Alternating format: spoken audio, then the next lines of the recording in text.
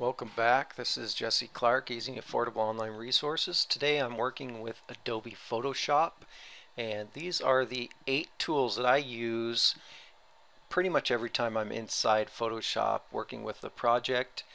Um, these tools help me be efficient and there's keyboard shortcuts and just things you might need to know to work inside Photoshop. They work for me, hopefully they'll work for you.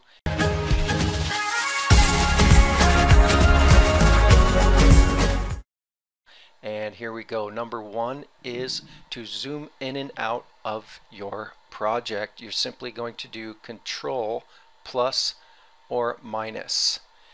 And then you can of course use control zero to fit to screen or to snap back to your project.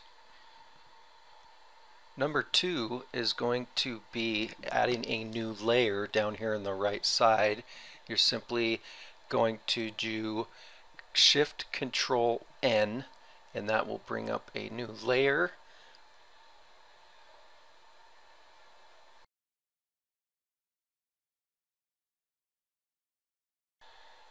Number three is resizing your image, constraining proportions or not constraining proportions.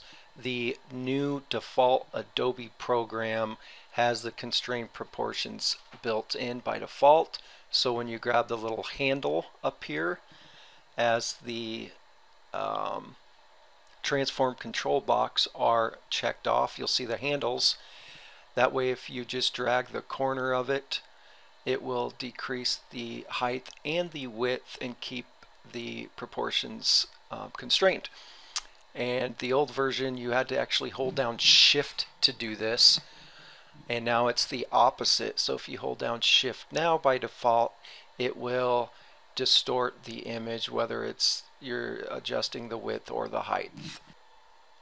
Number four is layer styles. You could simply double click on the layer and it opens up a box that you can adjust all of the layer styles for the that specific layer that you are on Number five is adjusting the workspace.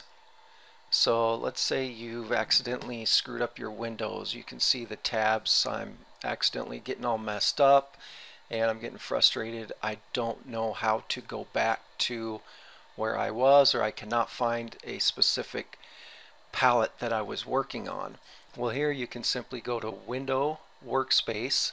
You can see we're on Essentials Default you can reset Essentials and it will take it back to how you originally started. You can also go in there and create a new workspace. It will save it and you can reset back to that.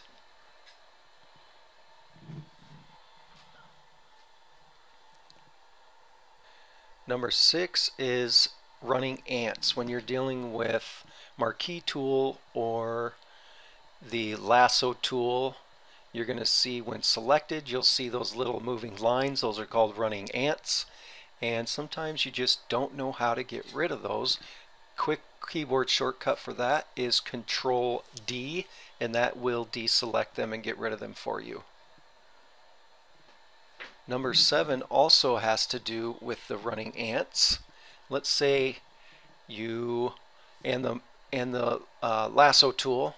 Let's say you crop out an image and you want to when you click delete it's actually going to get rid of that selection however if I want to get rid of everything around that I simply go to control plus shift plus I and that will add the parameter running ants click delete and that deselects or that deletes everything around the image so that's actually a really good one to know.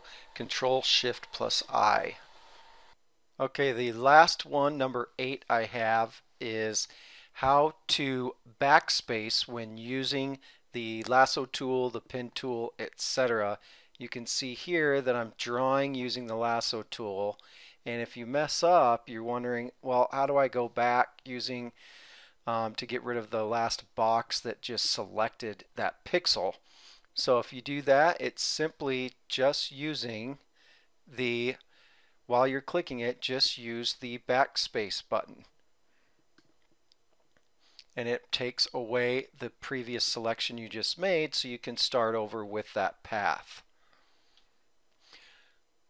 So those are my eight tips on how to be efficient in Photoshop and I use these tips all the time. I hope you can get something out of them and we'll see you on the next video. Make sure you subscribe below and have a great day.